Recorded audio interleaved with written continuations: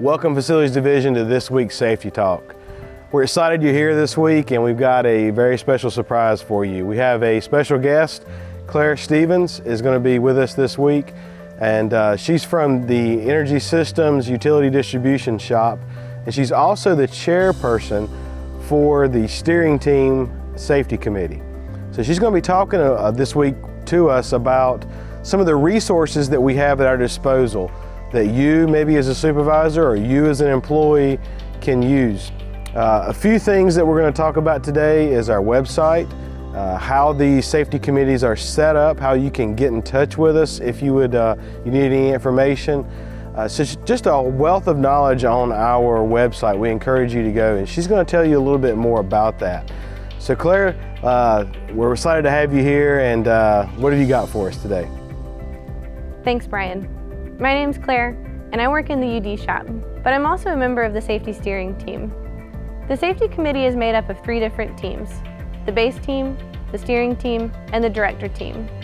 And really we're here to take all of your safety ideas, concerns, and suggestions and trying to implement them in a way that makes the facilities division safer. We're also trying to continue moving our safety culture in the correct direction. There's a few different ways that you can contact us. First, you can reach out to one of us directly. The Safety Committee has wide representation across all of the facilities divisions, so chances are you work with somebody who's on one of the safety teams. If you don't know who that person is, feel free to reach out to myself, Chad, or Brian, and we'll be more than happy to put you in touch with someone. Second, you can contact us from the NC State Facilities Safety website at go.ncsu.edu slash safety.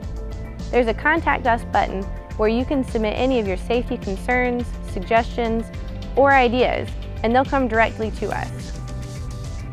Really, we want to hear from you before there's a mishap. You don't have to wait until after there's some sort of mishap or incident to contact us. Ideally, if you, if you see something, please say something. Only if you guys are able to identify safety concerns and bring them to us, can we try our best to resolve them? There's a lot of additional resources on the safety website, one of which is the hazard identification and mitigation steps. That's really the process that we want for everybody to take whenever we're trying to approach a hazard and mitigate that risk so that we can go home safe. Another, app, another resource is the safety training that's available for all of us within facilities as well as a list of what's required training for you and your specific department. Hopefully we've been able to provide some additional information that either you weren't aware of or maybe just needed a refresher on. Remember, we really want to hear from you. If you have safety concerns or ideas, please reach out to us, either directly or through the Contact Us form, because we really need you and your ideas to help make facilities safer for all of us. Thank you. Thank you, Claire, for, uh, for all that information. She does a phenomenal job for us and uh, she's really a, a, great asset to have on our team.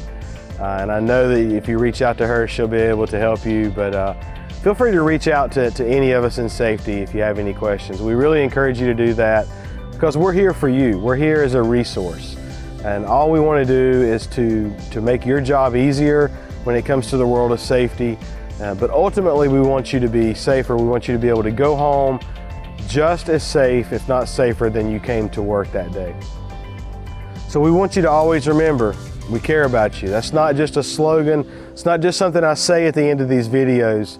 Uh, I really do care about you. Each one of us cares about you, and we do not want to see you get hurt. Uh, so just remember, go for zero, no one gets hurt, and go pack.